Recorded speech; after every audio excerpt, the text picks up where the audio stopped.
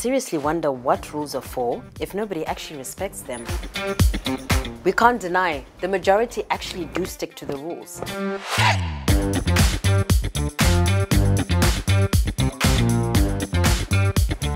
Negotiations are what the WTO is mainly about. What better place than to meet the boss at the negotiating table?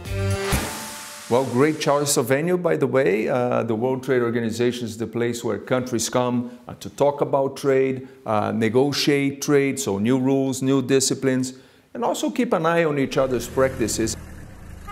That's a key point. They hold each other to account. We're not like referees that blow the whistle on a foul or something like that. You see, I sit up there at the presiding table, but it's the governments that run the show.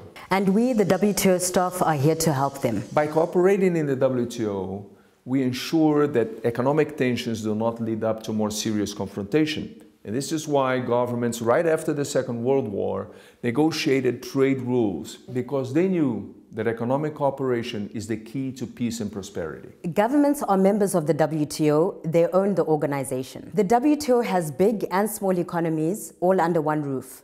Everyone has a voice and a seat at the table. They agree on rules and principles, they figure out their differences and decide on the way forward. These rules create stability. That's what businesses need to thrive. That leads to jobs and growth. Yes, and the global economy is changing by the day, so the WTO has to evolve to, to help the members meet these challenges. You see, the trading system is like oxygen. While it's there, you don't notice. You take it for granted. But once you take it away, you will notice. That's true.